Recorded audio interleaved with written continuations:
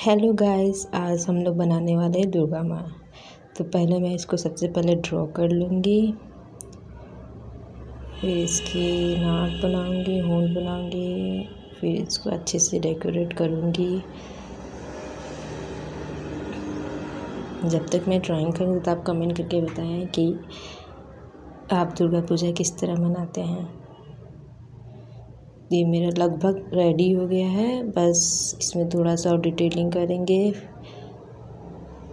ये हो गया मेरा ड्राइंग अब मैं इसमें सबसे पहले आई से स्टार्ट करेंगे कलर करना। तो मैंने यहाँ पर ब्लैक पेंसिल का यूज़ किया है। फिर लाइट ब्लू का यूज़ किया, फिर वाइट का आँख के लिए। फिर यहाँ पे मैंने येलो कलर का यूज़ किया है। फिर उसके बाद ऑरेंज का यूज़ किया है। एंड ऑरेंज यहाँ कर लिया, अब मैं स्किन कलर का यूज़ करूँगी। स्किन कलर यूज़ करने के बाद ये मेरा ख़त्म हो गया। अब जो जो वहाँ वाइट वाइट छोटा वहाँ वाइट कलर से भर दूँगी। फिर इस तरह सेम प्रोसेस मैं इसके नेक में करूँगी माँ के।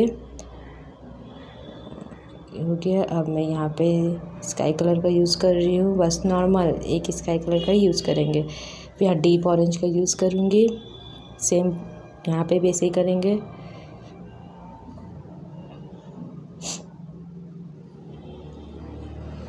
अब यहाँ पे थोड़ा सा, यहाँ मैंने इसको बहुत छोटा कर दिया तो उसमें कलर करने में मुझे बहुत प्रॉब्लम हो रही थी बट कोई नहीं, चलता है। फिर यहाँ पे से मैं कर ली। अब यहाँ पे यहाँ डीप रेड का यूज़ करूँगी रेड कलर का। अब यहाँ पे येलो कलर का यूज़ करूँगी, यहाँ पे भी रेड यहाँ पे स्काई कलर का। अब इनका ये ताज बनाऊँगी। यहाँ पे डीप ऑरेंज का यूज़ कर रही हूँ।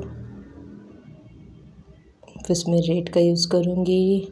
फिर यहाँ पे मैं इसका, इस कलर का यूज़ कर रही हूँ।